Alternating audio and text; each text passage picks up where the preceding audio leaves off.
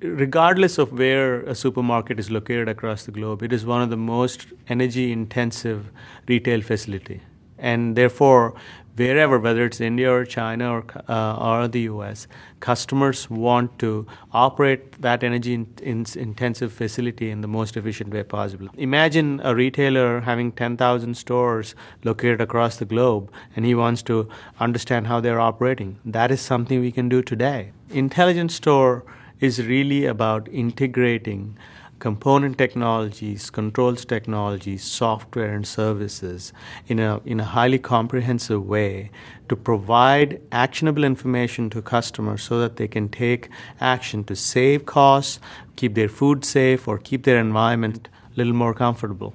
We can make the store run the most efficient possible and have the most lowest carbon footprint or the lowest operation cost uh, possible.